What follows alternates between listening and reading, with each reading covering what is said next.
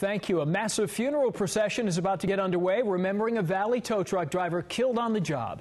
KCRA3's Tom DuHain live in Roseville with how he's being remembered. Tom.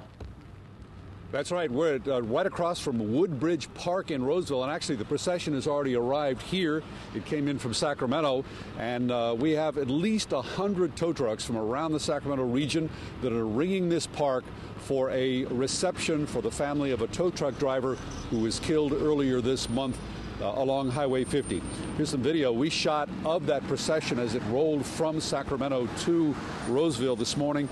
It took about uh, 35 to 40 minutes for this long, long line of, of uh, tow trucks, all with their emergency lights on, to make their way down Interstate 80. The idea of this was to remind drivers that it is imperative and it's state law that when you see blinking lights on the side of the road on the right hand shoulder, emergency vehicles, you must be able to pull to the left hand side to clear that right lane or to slow down.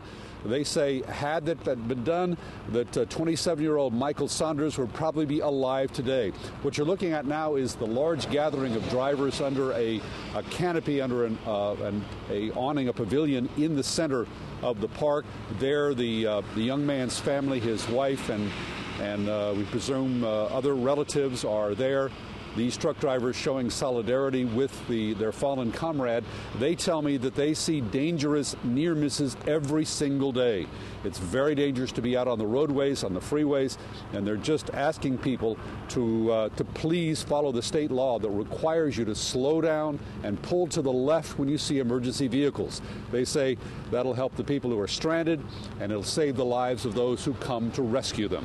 Reporting live in Roseville, Tom DuHain, KCRA 3 report.